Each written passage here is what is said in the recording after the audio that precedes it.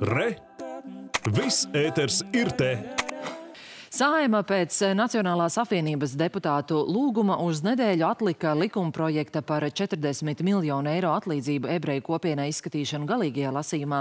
Frakcijas deputāti norāda, ka likums nav taisnīgs pret visiem totalitāro režīmu upuriem un cer, ka deputāti pārdomās un likuma projektu pārskatīs.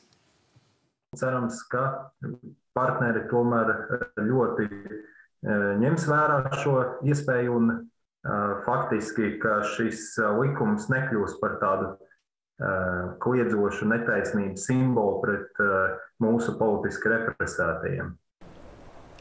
Atgādināšu, ka Saimas budžeta un finanšu komisija ir atbalstījusi labas gribas atlīdzinājumu Latvijas ebreju kopienai likumprojektu. Tas paredz ebreju kopienai no nākamā līdz 2032. gadam ik gadu izmaksāt 4 miljonus eiro vēsturiskā netaisnīguma mazināšanai.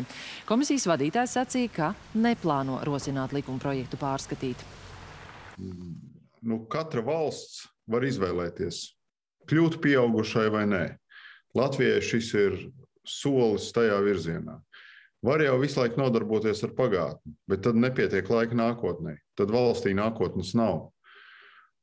Bez tam 20 gadus mēs mūsu galvenajiem sabiedrotiem, Amerikas Savienotām valstīm, esam solījuši, ka mēs šo jautājumu atrisināsim.